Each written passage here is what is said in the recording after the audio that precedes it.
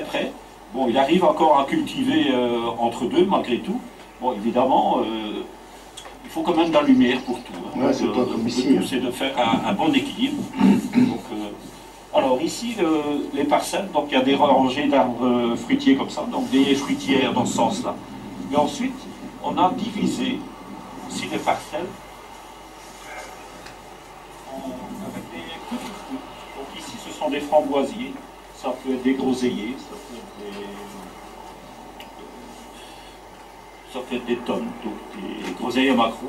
Donc en fait, ça crée des, des coupures, donc ça crée des alcôves comme ça sur le terrain, et ça permet de garder un microclimat dans, dans la parcelle.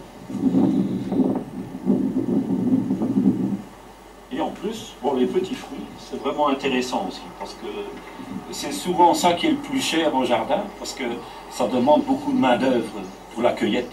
En fait, le fruit en lui-même, il pousse tout seul, il n'y a pas grand soin à, apporter, mais c'est la cueillette et le transport. Donc pour une framboise, il faut transporter une framboise. On est presque obligé de la cueillir euh, très tôt pour qu'elle reste en bon état euh, sur l'étal du, du marchand. Alors que là, dans le jardin, vous avez, hein, vous mangez ça au fur et à mesure. Vous pouvez même manger ça sur le terrain. Quand vous avez des enfants ou des petits-enfants en bas âge, ben, ils, ils reviennent là barbouiller avec. euh, bon, ça veut dire qu'ils ont été cueillis. hein. Donc voilà. Donc euh, c'est quand même intéressant d'avoir ces petits fruits à portée de main et d'une fraîcheur et d'un goût incomparable. Parce qu'on les laisse vraiment jusqu'au bout. Euh, vraiment gustatifs, tandis que ceux du, souvent dans le commerce, on a dû les cueillir avant, avant maturité. C'est pas l'idée.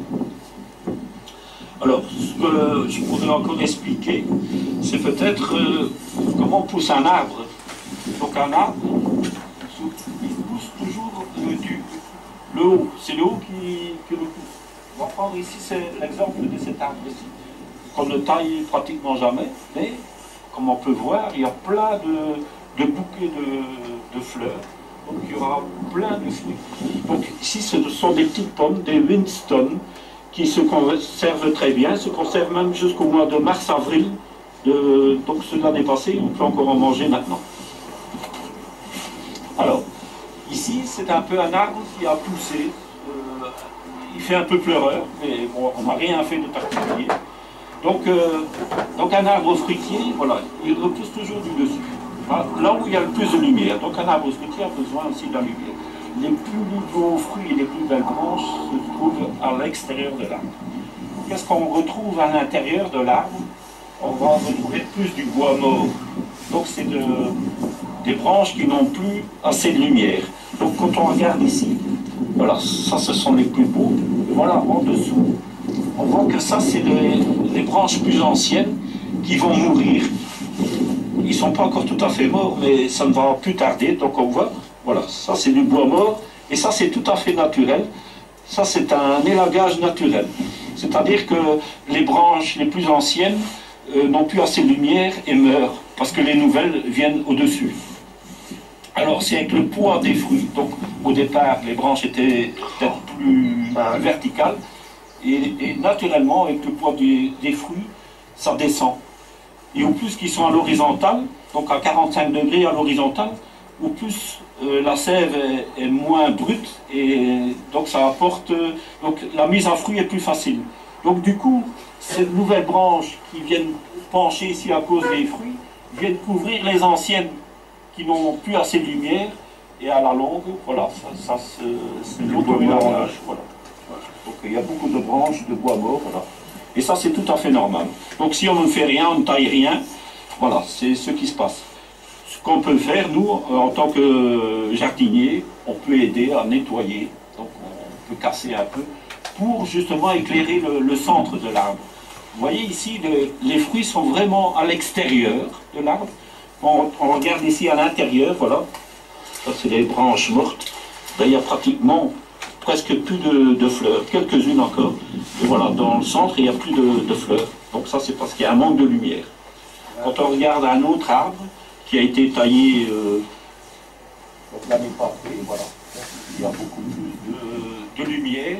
À l'intérieur, il y a, il y a de l'air. Donc euh, quand l'air circule, il y a moins de maladies aussi. Comme celui-ci, voilà. Ça fait vraiment. Il est beau, un bouquet. Ah. Et voilà, donc c'est un arbre qui est en, équilibre. Voilà, ici, c'est dans le centre de l'arbre. On voit que cette branche-là a tendance à. Voilà. Donc elle va peut-être un peu. Cette branche-là va, peut-être périr parce qu'elle n'a plus assez de lumière. Et voilà, vous avez plein. Donc c'est vraiment à l'extérieur que vous avez le plus de fruits. Donc c'est à ça, la taille sert à ça, c'est un peu à, à veiller, parce qu'il y a la lumière qui rentre dans l'arbre. Alors tout ce qui est vertical, les grands, les branches qui, poussent verticalement sont forts en bois et, et mettent plusieurs années avant de porter des fruits, d'avoir des pousses latérales avec des, petits bouquets. Tandis que des branches plus horizontales, la l'apport de sève est moins important et se mettent à fruits euh, beaucoup plus vite. Voilà, donc on a un peu fait le tour. Euh, ce que Gilbert nous a déjà dit, et voilà. Ici, c'est un peu en résumé ce ce qu'il euh, ce a déjà dit. Euh, voilà, donc le reste, euh, je crois que c'est à chacun un peu à voir soi-même comment euh, bien soigner les arbres pour avoir bien des fruits. Quel beau jardin, hein Ah, bah oui. Avec des- d'arbres fruitiers, c'est... euh, Alors vous avez des stades différents. hein. Donc, a que les poiriers sont les premiers. Euh, même les nachis, hein, ce sont les- encore avant. Nachi, c'est Les les... nachis, les poires japonaises, là. Voilà, ou chinoises. Ouais. Et voilà, ça c'est vraiment les premiers arbres. Alors c'est intéressant d'avoir des arbres qui fleurissent à des périodes différentes parce que vous attirez aussi des pollinisateurs, des, des insectes. S'il y a à manger, ils vont venir s'installer aussi. Donc si vous avez à manger sur une période plus longue, ben, ils vont s'installer d'autant plus. Si vous n'avez qu'un seul arbre euh, à polliniser, ben voilà, ils, ils resteront pas longtemps. J'ai vu euh, à la télévision il n'y a pas très longtemps, on expliquait euh, des amandiers, des champs complets d'a- d'amandiers. Ben, on est presque obligé d'apporter des pollinisateurs pour polliniser les arbres parce qu'il n'y a que ça à une certaine période de l'année. Il n'y a rien d'autre euh, à part cela. Donc c'est un peu dommage. Donc euh, les pollinisateurs ne restent pas. Donc on est obligé de les apporter. Quel travail encore. Alors qu'on peut faire ça avoir beaucoup mieux et plus facilement. Ben voilà. Merci, Michel, merci. Voilà. À bientôt. À bientôt. Ok, ça c'était en Amérique, euh, donc euh, vraiment un producteur d'amandiers. Il faisait que ça, et ça fleurit très tôt. Donc il n'y avait pas de pollinisateur, et, et il était obligé d'apporter des ruches pour euh, essayer de polliniser leurs arbres.